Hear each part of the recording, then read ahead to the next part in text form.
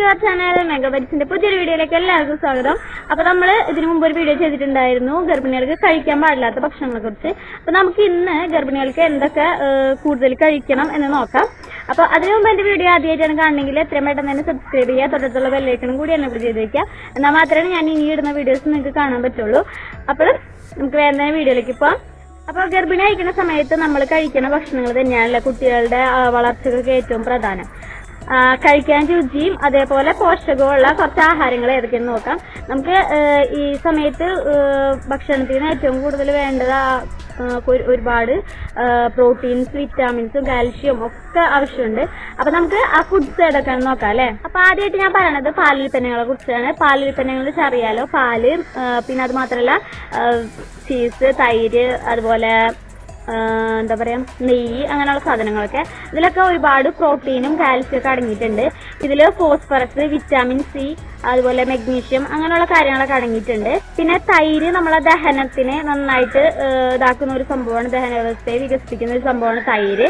അതുകൊണ്ട് പാലുൽപ്പന്നങ്ങൾ നന്നായിട്ട് കഴിക്കാൻ ശ്രമിക്കുക. പിന്നെ നമ്മൾ പയറുവർഗങ്ങൾ കഴിക്കണം. പയറുവർഗങ്ങളിൽ കടല ബീൻസ് അതുപോലെ സോയാബീൻ പിന്നെ എന്താ പറയാ നിലക്കടല ഒക്കെ ഉണ്ട്. പക്ഷെ അത് കൂടുതൽ കഴിക്കുമ്പോൾ നമുക്ക് ഗ്യാസ് ഉണ്ടാവാനുള്ള ഒരു ചെറിയ ചാൻസ് ഉണ്ട്. അപ്പൊ നമ്മൾ പരമാവധി ഗ്യാസ് ഉള്ള സംഭവങ്ങൾ ഒഴിവാക്കാനാണ് ചെയ്യുന്നത്. കഴിഞ്ഞ വീഡിയോയിൽ പറഞ്ഞിട്ടുണ്ടായിരുന്നു പയർവേദനയൊക്കെ ഉണ്ടാവും.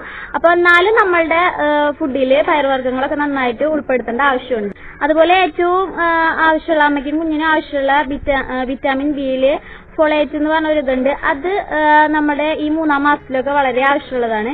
ഈ മൂന്നാം മാസത്തിൽ അറുന്നൂറ് മൈക്രോഗ്രാം ഫോളേറ്റെങ്കിലും നമുക്ക് ആവശ്യമുണ്ട്. പിന്നെ നമുക്ക് ഇത് നമ്മളെ ഭക്ഷണത്തിൽ നിന്ന് മാത്രമല്ല കിട്ടണത്. നമുക്ക് അത് ഡോക്ടർമാരോട് പറഞ്ഞു കഴിഞ്ഞാൽ ഡോക്ടർമാർ നമുക്ക് ഗുളികകളൊക്കെ ആയിട്ട് തരും. അതിൽ നിന്നും കൂടി നമുക്ക് സപ്ലിമെന്റ്സ് ഒക്കെ എടുത്തിട്ടും കൂടിയിട്ട് ഈ ഒരു ഇതിന്റെ കണ്ടന്റ് നമുക്ക് കൂടുതലാക്കേണ്ടതുണ്ട്. കൂടുതലാക്കേണ്ടതുണ്ടെന്നല്ല.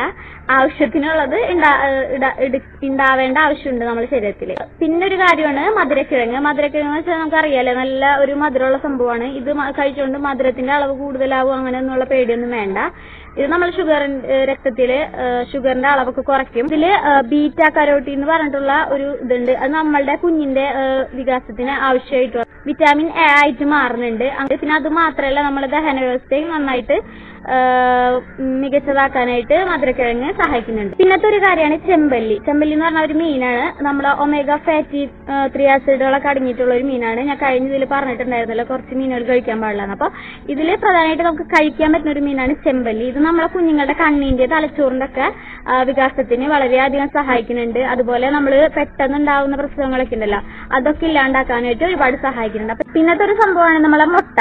മുട്ടയിൽ നല്ല അത്യാവശ്യത്തിനുള്ള ഇതുകളൊക്കെ ഉണ്ട്. നമുക്കറിയാലോ കഴിഞ്ഞ ഇതിൽ ഞാൻ പറഞ്ഞിട്ടുണ്ടായിരുന്നു മുട്ട കഴിക്കാൻ പാടില്ലാത്ത തരത്തിലുള്ളതും എങ്ങനെയാണ് കഴിക്കേണ്ടതെന്നും.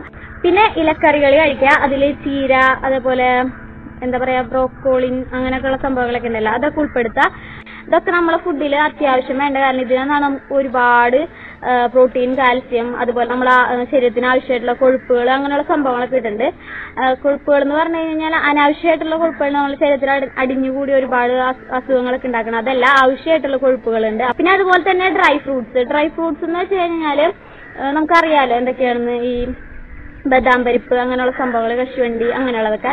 അപ്പൊ ഇതിലൊക്കെ നമ്മൾ ഒരു കഷ്ണം ഡ്രൈ ഫ്രൂട്ട് എടുത്തു കഴിഞ്ഞ് കഴിഞ്ഞാൽ അത്രയും തന്നെ അതിൽ പോഷകങ്ങൾ അടങ്ങിയിട്ടുണ്ടെന്നാണ് പറയണത്. അപ്പൊ ഒരു കഷ്ണം നമ്മൾ കഴിച്ചാലും അതേ അളവിൽ നമുക്ക് പോഷകം കിട്ടും. അപ്പൊ നമ്മൾ ഡ്രൈ ഫ്രൂട്ട്സ് ഒക്കെ നന്നായിട്ട് കഴിക്കാൻ നോക്കാം.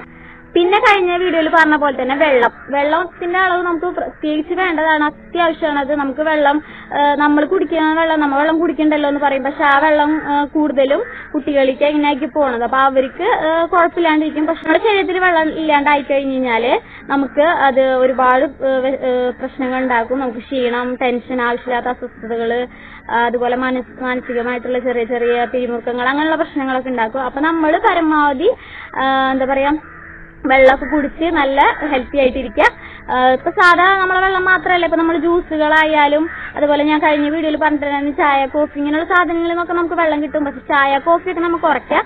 വെള്ളം നമ്മൾ ജ്യൂസുകളായിട്ടും പഴവർഗങ്ങളായിട്ടും പച്ചക്കറികളായിട്ടും ഒക്കെ കഴിക്കുമ്പോൾ നമുക്ക് അതിൽ നിന്നൊക്കെ വെള്ളം കിട്ടുന്നുണ്ട്. അപ്പൊ നമ്മൾ അത്യാവശ്യത്തിനുള്ള വെള്ളം കഴിക്ക വെള്ളം കുടിക്കുക ഇത്രയൊക്കെ ഉള്ളു ഇന്നത്തെ വീഡിയോ. ഇത്രയൊക്കെ എനിക്ക് അറിയുള്ളൂ. ഇനിയുണ്ട് ഒരുപാട് ആഹാരങ്ങളൊക്കെ കഴിക്കേണ്ടത്. അപ്പൊ ഹെൽത്തി ആയിട്ടുള്ള ഫുഡുകളൊക്കെ കഴിച്ച് എല്ലാവരും ഹെൽത്തി ആയിട്ടിരിക്കുക. അമ്മമാരൊക്കെ ശ്രദ്ധിക്കുക.